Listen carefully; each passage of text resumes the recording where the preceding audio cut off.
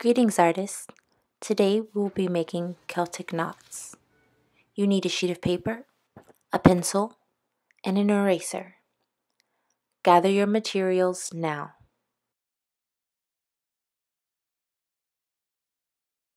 Once you have your paper, you will fold it in half and then fold it in half again. It doesn't matter which way you get to your four quadrants, just make sure you have four. Label your paper Celtic knots. Be sure to write your name, date, and class period on your paper.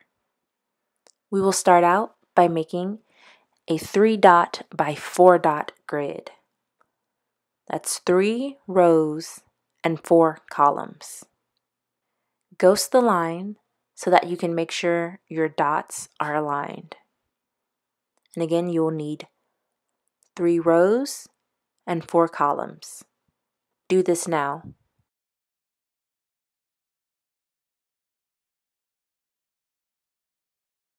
Next, we will add guide dots and the gaps in between the weaves.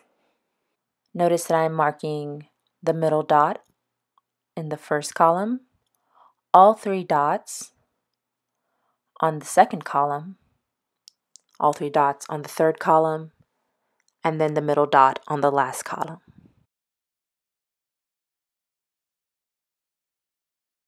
Next, you will add a dot in between each of your original dots and another larger circle around them.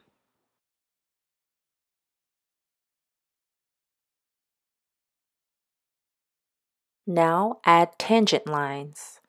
These are parallel lines between your dots that are double circled. Start with one section of your grid and then go to the next section. Don't jump around.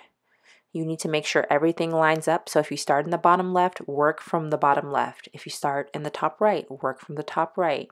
You're going to make an over and under pattern.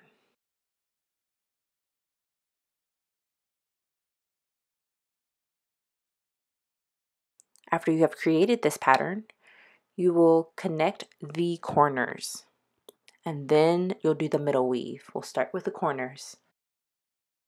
You'll go around your circles within a circle and you'll make sure to touch the single dots. The areas in between the weave, you will go around the circles within a circle.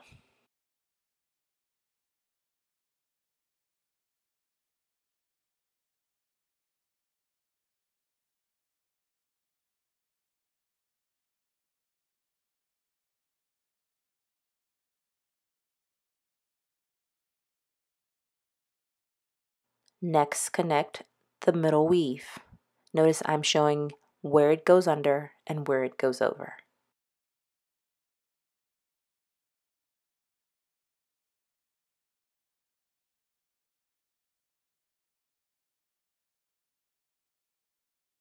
Using a pen or a soft graphite pencil, go over your lines to define your pattern.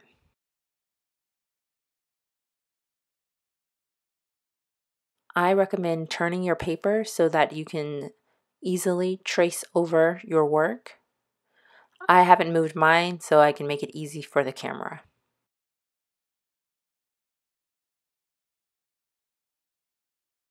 After you have traced over your work, go ahead and fill in the spaces between the weaves. That's our circles within a circle. And then add an outline to the perimeter. Thank you and I look forward to seeing what you create.